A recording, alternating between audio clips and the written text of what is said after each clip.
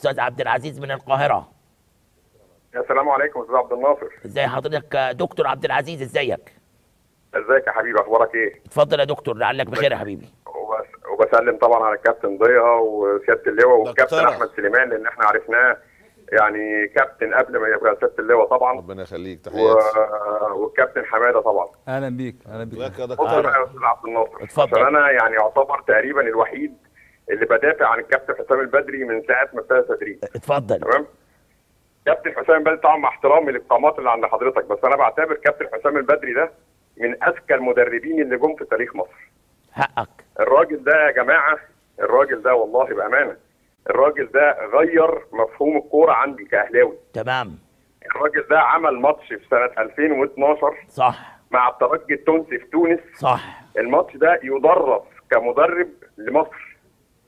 الراجل ده لو حد يفتكر يا جماعة الماتش ده الراجل ده قعد أبو تريكة أنا كنت فيه ومتعب. كنت في الماتش أنا يا وبركات على الاحتياطي دي حقيقة. ونزل في الماتش ده كان وليد سليمان وعبد الله السعيد والسيد حمدي كان لسه جايين أيوه أيوه أيوه. خلى حسام غالي هو محور اللعب.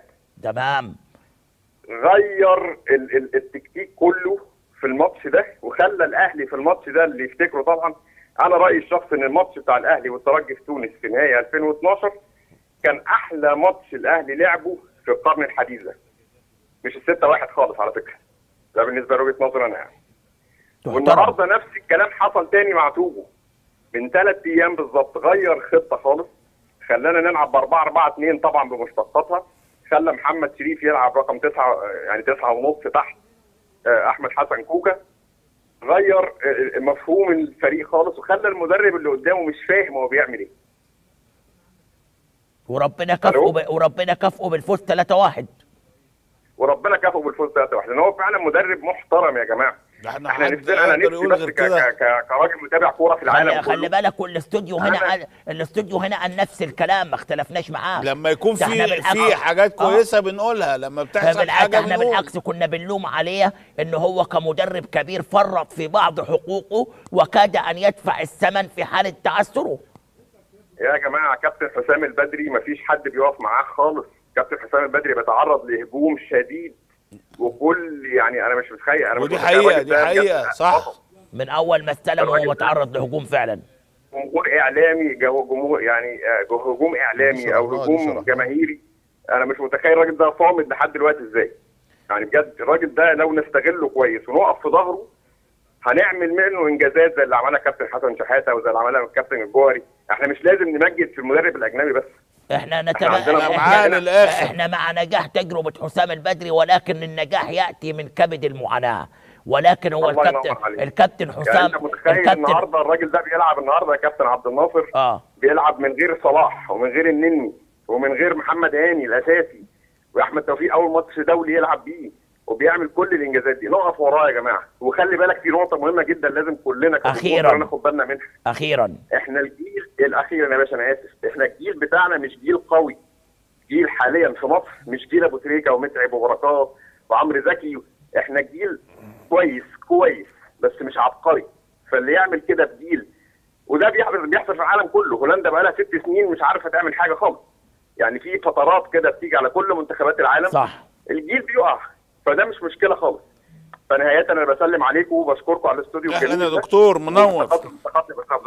شكرا جزيلا يا دكتور عبد العزيز. شكرا. جزيلا. لا جيل كويس اللي موجود دلوقتي.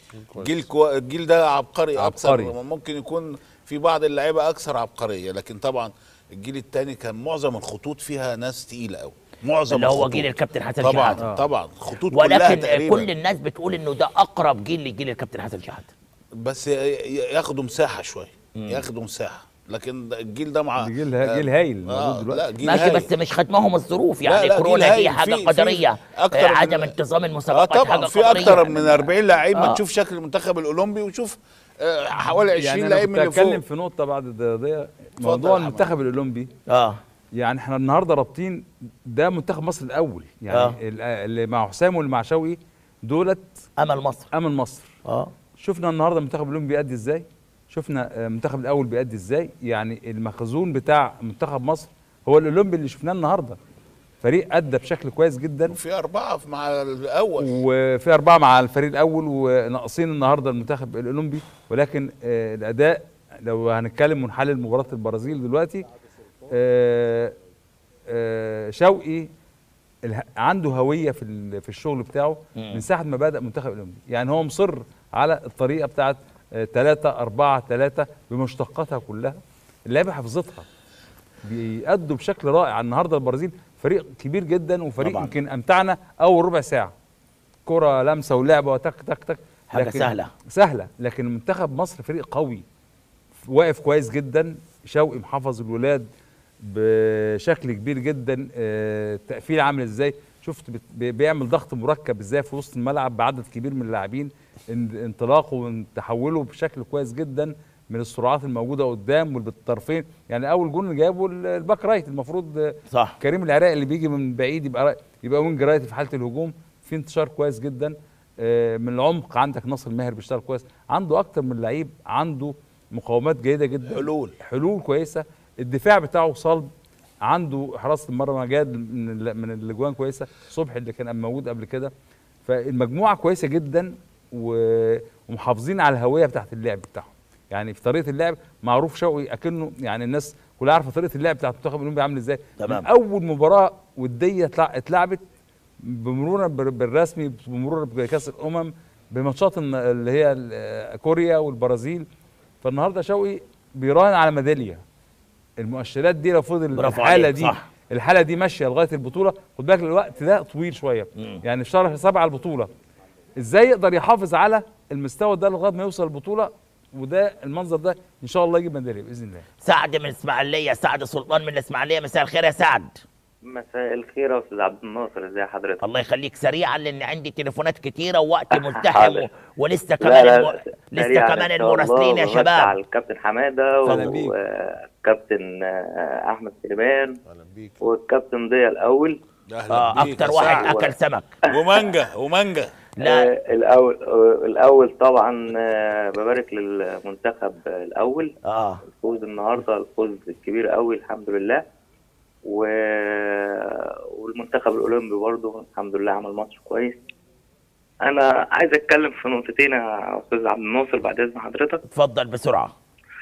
آه، أول حاجة بس أنا نفسي تتكلموا على الإسماعيلي شوية عشان الإسماعيلي في محنة الإسماعيلي في محنة بجد. آه، بعد إذن الكباتن كلها تتكلموا على الإسماعيلي شوية لأن الإسماعيلي مش شوية ان إن حضراتكم تدوا له وقت يعني. حاضر.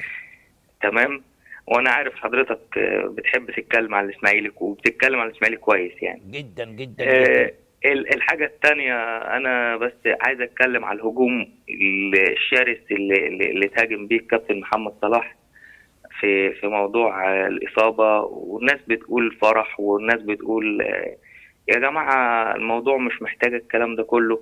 الموضوع كله أولا وأخيرا هو قدر ويعني كريستيانو اتصاب يا جماعة وما شفناش الكلام ده كله وما هو شفناش ما فيش حد يا. يا سعد ما فيش حد هاجم الكابتن محمد صلاح في مصر إلا ميدو وكلام مي وكلام ميدو نقل أنا بحب إحنا على اليوتيوب قول الأسامي وكلام تمام. ميدو للأسف ترجم على صفحة ليفربول وعمل. أزمة لمحمد صلاح واتخذ عليه مستند إن النجم الكبير أحمد حسام ميدو لأنه نجم طبعا ولازم. نحترمه.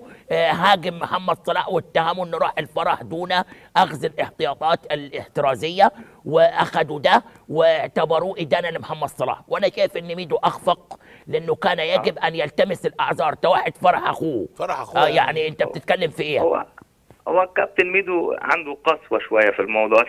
يعني ما أنا بقول لك احب اسمي الأمور بمسميات اصل أنا مذاكر الوسط كله يعني. آه، هو ما آه، حدش هاجمه غير لا أنا أنا أنا شايف إن الموضوع سهل يعني في ناس كتير اتصابت طبعا. وخفت وربنا كرمها يعني كريستيانو ما فيش أكبر من كريستيانو يعني ما, ما يعني ده, ده شيء قدري بيد الله. ما أنا كنت آه، الأستاذ أبو المعاطي بسني 900 بوسة والعينة طلعت سلبية. ده بتاعت ربنا دي تهراني. احضان وبوسه ابو المعاطي ألف في ال- ألف سلامة لما آه، يوم الانتخابات وربنا أنا عملت كل التحاليل وكل الله. المساحات أنا أنت اللي جبتها له خد الدبل ماشي يا باشا شكرا آه، سعد. سلام للجميع. وأنا آسف كنت طولت لا يا حبيبي. نورتنا بس آه، وصيتي الإسماعيلي يا أستاذ عبد الناصر معلش. إن شاء الله بإذن الله الإسماعيلي أحسن والصفقات زي الفل وهنتكلم عن الإسماعيلي. شكرا جزيلا شكرا يا سعد. سريعا كده عشان أحب ألبي طلبات الناس بسرعة. الإسماعيلي يعني إيه المطلوب عشان يرجع يرضي جماهيره ويمتعهم بره موضوعنا لكن في كلمة ونص. هو السنة دي عمل صفقات كويسه آه. وأنا بعتقد إن للموسم الجديد قصدك. آه بس يعني خد وقت كتير ال- المجلس الاداره اللي موجود عقبال ما اقتنعوا إن هم ماشيين غلط طول الوقت في في المدربين وفي. اللعيبة. في عند كان غير مبرر لكن السنة دي الحق يتقال يعني ماشيين بشكل كويس بيعملوا آه، صفقات كويس. أتمنى إنهم آه، آه، يديروا الصفقات دي بشكل كويس. عشان نرضي بس كل الناس. وأعتقد إن ريكاردو في آه آه يعني كيمياء بينه وبين أحمد العجوز. وأعتقد الموسم اللي جاي لن يكون ابدا الإسماعيلي كما كان هذا الموسم يا كابتن الله إن حمد شاء الله. بص هي الأمور المالية يمكن هي حكم النادي الإسماعيلي ولازم الناس تعرف كده كويس. مم. ال- يعني هم بيجي باع متولي باع عشان يبتدي يسدد ال- اللعيبة اللي موجودة. التزامات الت- عنده التزامات كتيرة جدا والدخل الإسماعيلي يعني مش النادي الأهلي ولا الزمالك ولا في أندية لها دخل جامد. الإسماعيلي ما عندوش دخل الإسماعيلي عنده جمهور كبير عنده طبعا نادي كبير وكل حاجة. ولكن أنا واللي اللي أنا شايفه ورصده إن الأمور المالية يمكن هي اللي مقصره معاه مش مش هيقدر يجيب صفقة ب 40 مليون مش هيقدر يجيب. الصفقات دي أيوه فهو بس بيعتمد هو على هو, هو باع لعيبة ب 40 مليون وما عملش حاجة ما هو هو- باع, هو باع ما لا-. لا لا لا إجمالي أرباحه لا، الموسم اللي فات. تخطت ال 120 مليون 120 مليون ما ولكن عملش ما حاجة. عملش بيهم يعني ما هو ما ما هو باع عشان يسد حاجات اللعيبه اللي عنده يقدر لا هو يمشي. كان لا، لا، ما يتمنى. ان إن هو يعمل طفرة مالية ويطلع عناصر جديدة ولكن الفكرة فشلت. آه. نجحت ماليا وفشلت في الملعب. بالظبط كده. الإدارة اللي تيجي تشتكي تمشي. آه، برافو عليك. يا- الإدارة اللي تيجي مش قادرة تدير مؤسسة. يا مفيش عم على أيوه. شايف مؤسسة بص، والله لا، لا، لا، العظيم لازم يا يبقى في أحمد، اللي مش وضوح. قادر ما الإدارة وضوح، لازم يجيب. غيرك واحد تاني يا. بني مش قادر ما يشكيش ما يروح دي تقعد تشتكي أنا ما عنديش فلوس. طب أنت جاي ليه؟ آه. ما تجيبش. أنا بحل أنا ماسك حاجة مسؤولية كبيرة أهلي زمالك إسماعيلي مصري. بقى تقول اللي هو أنا مش ما تقعدش أيوة، أيوة. وتقعد تقول أصل الاسماعيلي تدير و- سلام عليكم تمشي. طيب. تيجي غيرك يدير.